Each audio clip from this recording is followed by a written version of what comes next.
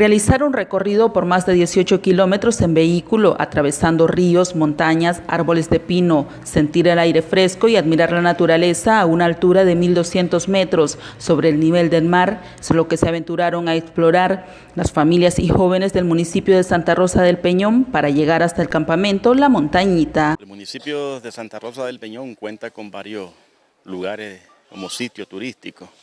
Eh, este es uno de los principales atractivos turísticos que en años anteriores pues hacía esta caminata a caballo.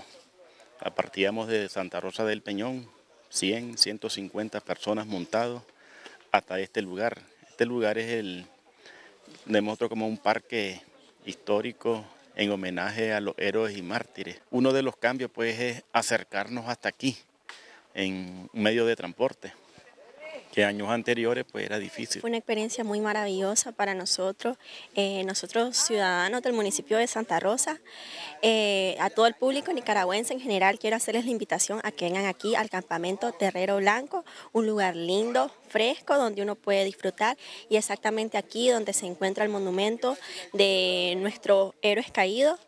Eh, un lugar donde nosotros tenemos historia. Aquí cada uno disfrutó de este bello recorrido, así como el verde de la naturaleza y un ambiente lleno de mucha cultura.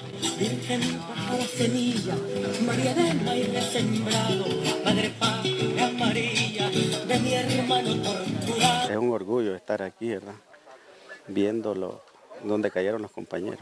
Vemos un ambiente distinto al marco de como lo vemos en el municipio eh, directamente pues, en el casco urbano. ¿Por qué? Porque acá vemos completamente la naturaleza, la naturaleza perdón, en otro eje. Ya vemos la lindura de diferentes plantas que podemos ver, que no hay prácticamente en el casco urbano, eh, y en sí es más un atractivo bastante agradable para los muchachos. El campamento La Montañita es un lugar que posee mucha historia de la revolución sandinista, donde los asistentes recordaron a los siete héroes y mártires caídos en combate. Fátima Suazo, lo que se vive deportivo